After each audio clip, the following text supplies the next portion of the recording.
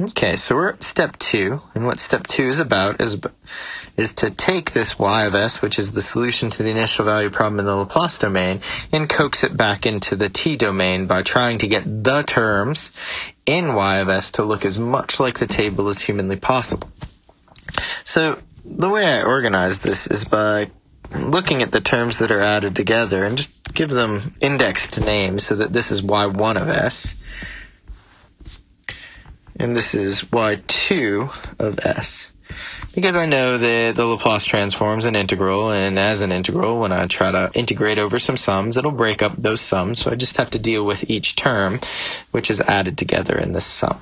So, the first guy, y1 of s is equal to 6s minus 3 over 3s squared plus 27.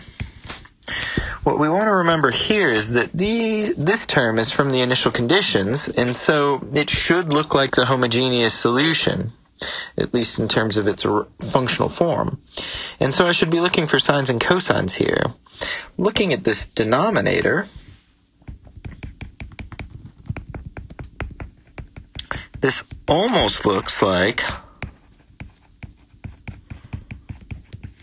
numbers 13 and 14 from the table. The problem is, is that there's a 3 multiplying onto the s squared term. Well, that's not a big deal. We're going to take that 3 off. And in fact, there's a 3 in the numerator too. So I'll take a 3 out of the numerator just for simplification purposes, leaving behind a 2s minus 1. And then in the denominator, I'll take a 3 off of its um, terms. And so leaving behind a s squared plus 9 those threes cancel. And so really y1 of s is 2s over s squared plus 9 minus 1 over s squared plus 9. This first term here, this totally looks like table entry number 13. And so I'm already seeing that this looks like 2 times cosine of 3t. This term the second of the two terms looks like number 14, but is missing a 3 in the numerator. So let's just put that 3 back in by multiplying this whole thing by 3 over 3.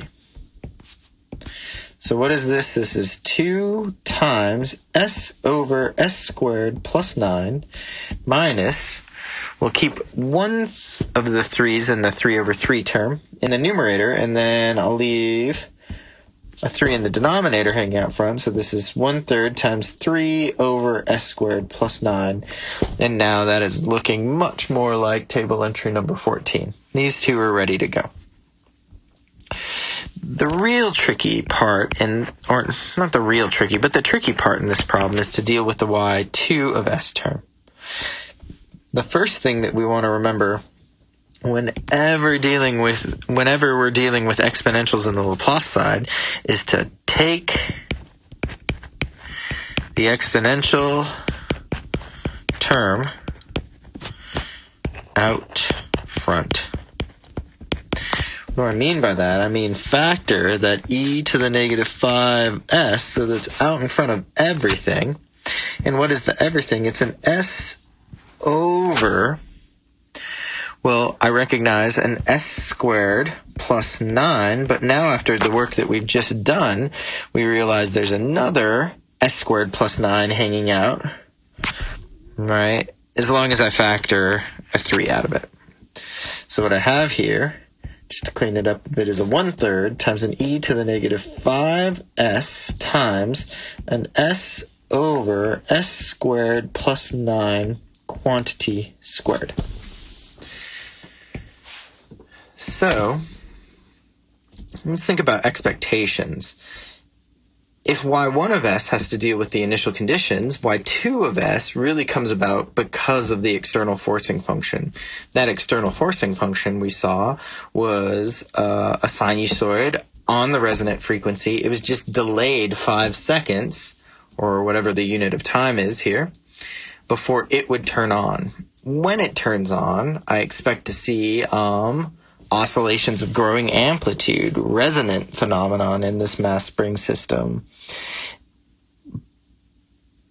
But there are two things that really need dealt with. The first is what is this? S over S squared plus, no, plus 9, that whole quantity squared, the S squared plus 9. And then how to deal with this. Right. So this ter- these terms are ready, but we will need to work through a little bit on um, how they correspond to time functions, and that's step three. Okay, here we are at step three, and at step three, what do we want to do? We want to invert everything, so y of t, you are going to be equal to the inverse Laplace transform of capital Y of s. But that is equal to the inverse Laplace transform of capital Y1 plus the inverse Laplace transform of capital Y2. Okay. Well, what is the inverse Laplace transform of capital Y1? That is going to be the inverse Laplace transform of 2 times s over s squared plus 9 minus 1 third times 3 over s squared plus 9. And then I'm going to add to that the inverse Laplace transform of y2, which I'm just going to leave hanging out for right now. So what is all this stuff? Can we make moves on it? Well, yes, we can. We can use table entries number 14 or 13 and 14 to find that this term right here, done by table entry number 13, the first of my terms is 2 times cosine of 3t. And then the second term here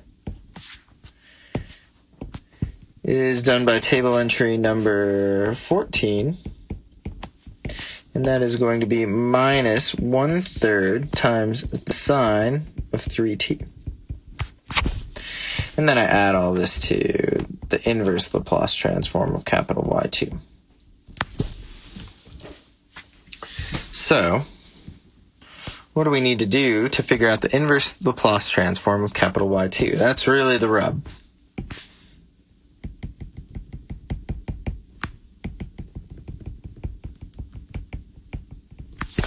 Really, we should have done it before. We had all this space up here to do it before. And we'll do that now. I wanted to hold off so that we can see how everything's fitting together and we have everything dealt with except for this one pesky transform. And so, working this transform, up here we're going to take the inverse Laplace transform of capital Y2 but that's going to be one third times the inverse Laplace transform of e to the negative 5s times s over s squared plus 9 quantity squared. All right, how do we handle this? We expect it to be the resonant function, and so I could go onto the Laplace transform list and look around and I should look for resonant functions. So I should be looking for t multipliers onto the sine and cosine functions. I look at table entry 11 and I look at table entry 22 and I see that table entry 11 and 22 have like an s squared plus k squared quantity squared in the denominator but only 22 has an S in the numerator, which is what I have, so I go number 22 here. But at the same time, I have this exponential. When I have this exponential in Laplace space, what I want to be thinking about is using table entry number 5.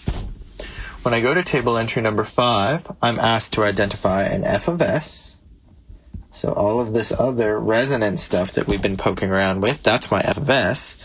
And then from this exponential, what I want to find out is what's my a, and my a is equal to 5. So when I invert this, this is going to be 1 third times u of t minus 5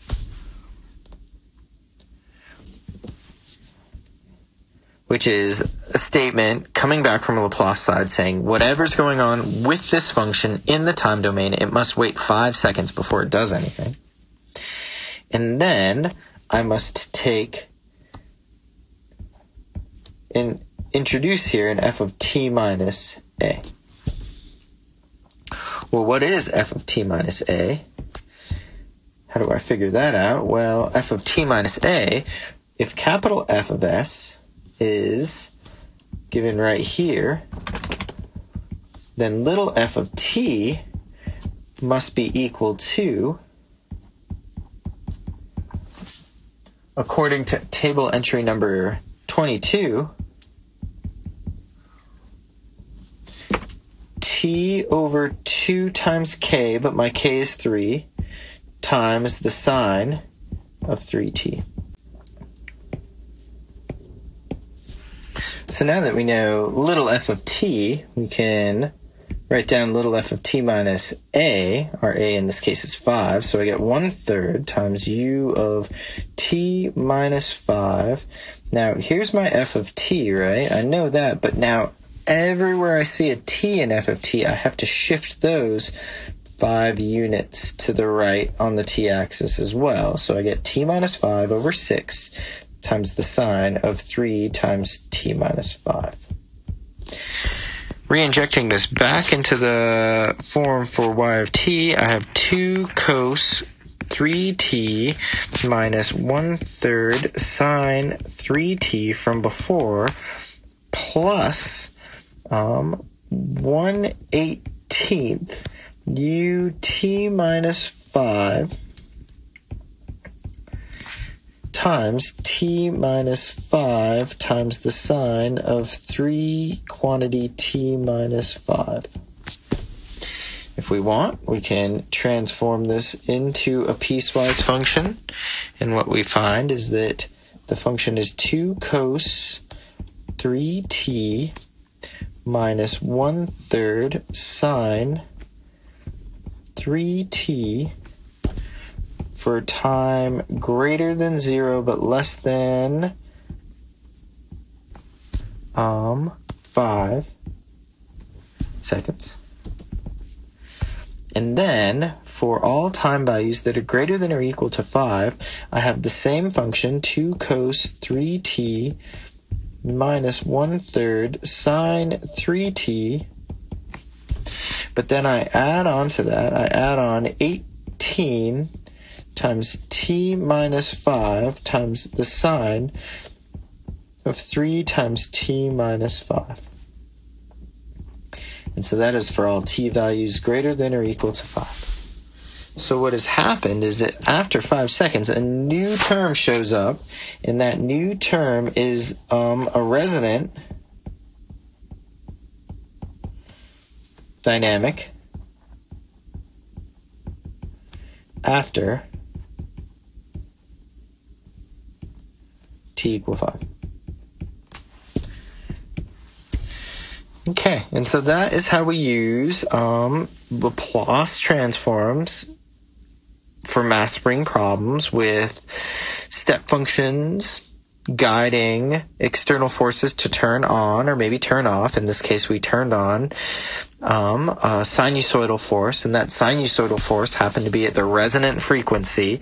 And so what that means is that after that function turns on, a resonance happens, but what's really interesting about this resonance is that everything has been shifted five seconds in time so that it's just laying in wait when that function turns on, that dynamic will turn on as well.